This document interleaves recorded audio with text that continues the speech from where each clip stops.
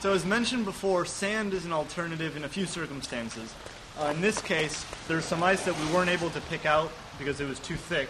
So now we're going to go over it and put some sand on, which is good if you need to walk on it or if you need to get a car out.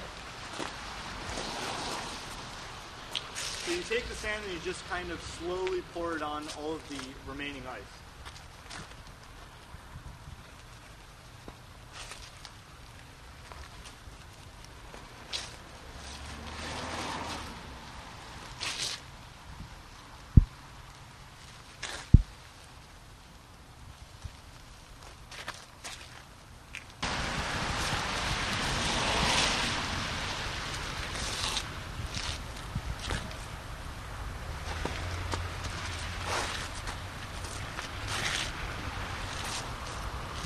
You want to make sure that you spread the sand as much as possible and get a good cover over all of the remaining ice.